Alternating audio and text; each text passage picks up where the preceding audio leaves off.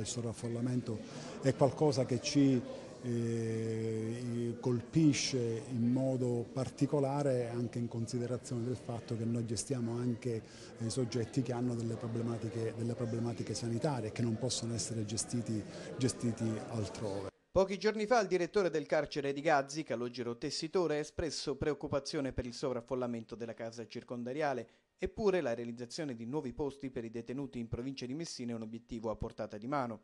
Il nuovo carcere potenzialmente c'è già ed è l'ospedale psichiatrico giudiziario di Barcellona Pozzo di Gotto.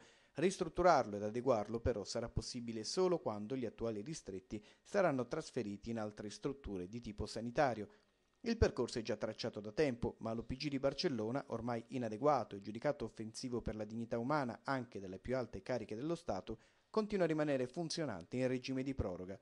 La chiusura, inizialmente imposta per il marzo 2013, è slittata con obbligo al marzo 2014. Pochi mesi ancora dunque per trasferire gli ospiti dell'OPG in altre strutture. Il direttore dell'ospedale psichiatrico giudiziario, Nunziante Rosania, ha confermato che si attende solo il via libera per accompagnare i ristretti, giudicati pericolosi, nei quattro centri sanitari individuati in Sicilia, ma è proprio nell'approntare questi centri che, riferisce Rosania, si registrano i maggiori ritardi, responsabilità in questo caso delle ASP, ovvero della sanità regionale.